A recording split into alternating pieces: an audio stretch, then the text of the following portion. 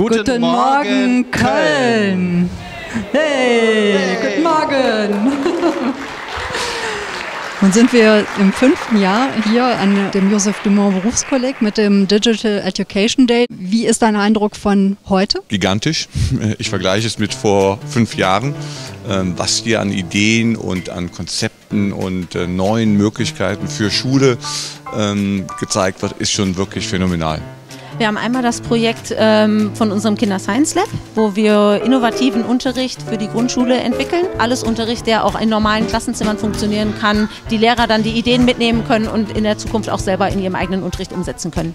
Ja, wir finden es halt toll, ähm, wirklich die Kreativität ins Programmieren zu bringen, weil Programmieren ist ein kreativer Prozess, genauso wie Malen oder wie Komponieren.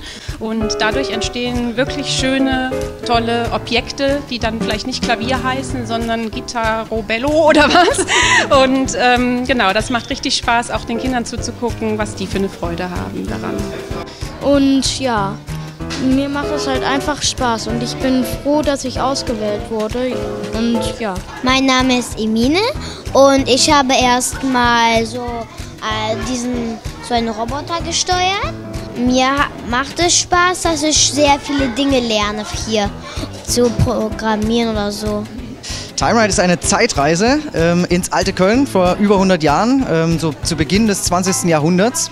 Und das Tolle ist, unsere Besucher, egal ob Schulklasse oder Tourist oder eben auch Kölner, ähm, kann einfach diese Virtual Reality Brille hier einmal aufsetzen und dann ist man quasi mitten im Damals.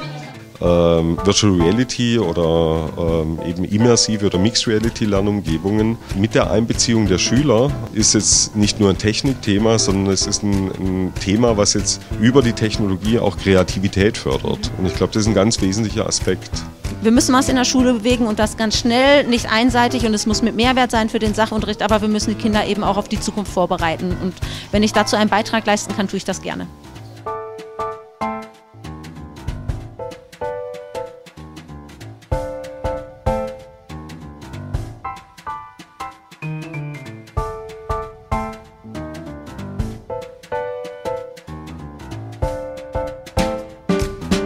Die größten Herausforderungen sehe ich eigentlich darin, dass wir diese tollen Projekte, die es an einzelnen Schulen tatsächlich schon gibt, ähm, in die Fläche bekommen, dass wir das Know-how auch zu den Lehrern bekommen. ne? Also Stichwort Lehrerausbildung, Lehrerfortbildung, die Zukunftsaufgabe in den kommenden Jahren und äh, der widme ich mich sehr gerne.